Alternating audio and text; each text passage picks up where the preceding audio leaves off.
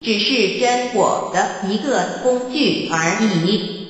肉体虽然看似真实，却无时无刻不在改变之中，不拘束十年，又变成一堆黄土。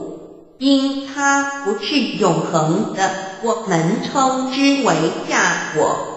对于真果和假果有所了解之后，我们也就可以了解我们为什么要求道了。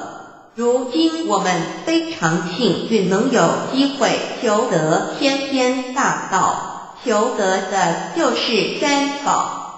三宝简单明了，但也博大精深，其内容在求道时会详细解说。现在只简单的提出两点：首先，求道就是直接点出了真正永恒不休的真果，也就是良心本性的发。在物质文明远较精神文明昌盛的今假若迷失真果，我们的人生将有如行尸走肉。若是认假为真，更是我们为了盲目满足假果而做出害己害人的事情，造成自己在世时与死后的灾祸。